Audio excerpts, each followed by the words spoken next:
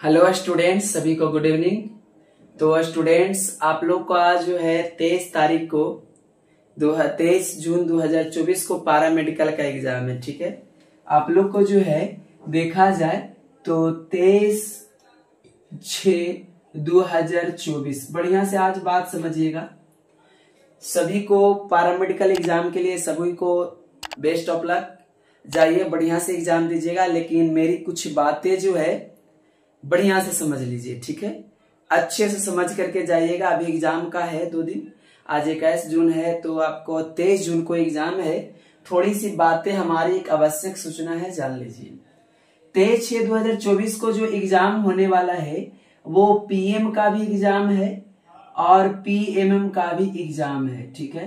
PMM जो होते हैं, ये टेंथ लेवल वालों के लिए है और पीएम जो होते हैं वो ट्वेल्थ लेवल वालों के लिए। सबका सपना होगा कि एएनएम कर लेते जीएनएम कर लेते डी फार्मा कर लेते फिजियोथेरेपी कर लेते, बहुत कुछ वगैरह वगैरह जो है होगा।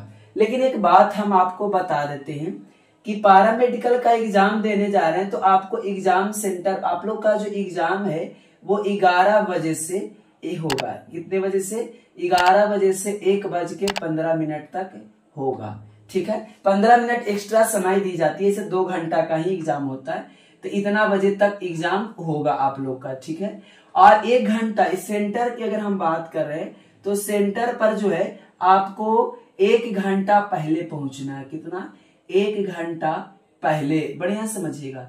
सेंटर पर आपको एक घंटा पहले पहुँचना है।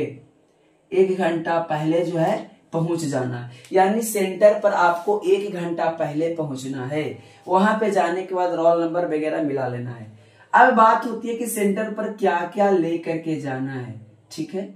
क्या क्या लेकर जाना है? थोड़ा सुनो। अगर कंफ्यूजन हो गया तो पूरी ज़िंदगी गड़बा जाएगी। ठीक है? क्योंकि आपको एक साल बर्बाद हो जाएगा। क्या क्या लेके जाना, ध्यान से समझ लो। लेकर जाना। ये चीज़ बहुत इंपॉर्टेंट है।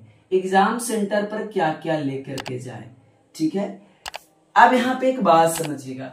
एग्ज़ाम सेंटर पर क्या लेके जाना तो सबसे नंबर वन पे आता है एडमिट कार्ड ठीक है? और एडमिट को जो है कार्ड आपको लेकर के जाना ही जाना है, ठीक है?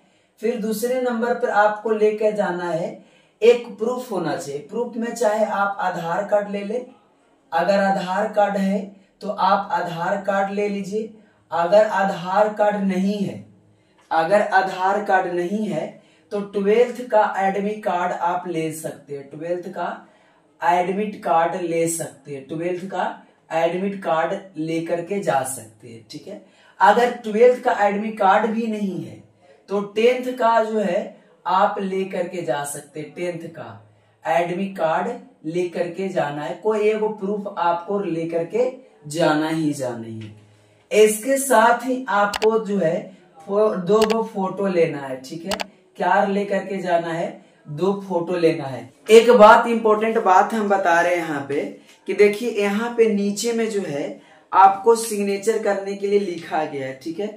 हिंदी और इंग्लिश में इस जगह पर देख रहे हैं सिग्नेचर करने के लिए दिया है कि इस जगह पे नीचे में आपको सिग्नेचर करना है। यहीं पर देख लीजिए ध्यान से, ऊपर में अंग्रेज़ी में बड़ा अक्षर में कैपिटल लेटर में और नीचे में हिंदी में करना है। लेकिन एक ध्यान रखिएगा, ये सिग्नेचर आपको घर से कर करके नहीं जाना है। वो एग्ज़ाम सेंटर पे कराया जाएगा। ये एडमिट कार्ड में आपको कुछ नहीं छेड़छाड़ करनी है, ठीक है? इसके अलावे आपको क्या करना है? कि आपको इसके अलावे फ़ोटो के साथ जो है क्या करना है कि आप वाटर बोतल, यानी पानी बोतल ले जा सकते हैं। पानी बोतल लेकर के जाना है और पानी बोतल कैसा होना चाहिए? रंगीन नहीं होना चाहिए, पारदर्शी होना चाहिए। कैसा होना चाहिए बाबू? पारदर्शी होना चाहिए, ठीक है?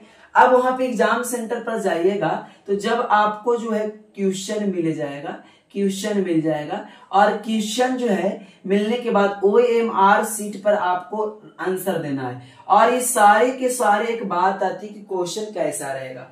तो बता दे बाबू, क्वेश्चन जितने भी पूछे जाएँगे, सारे के सारे क्वेश्चन जो है ऑब्जेक्टिव रहेंगे। सारे के सारे क्वेश्चन क्या रहेंगे?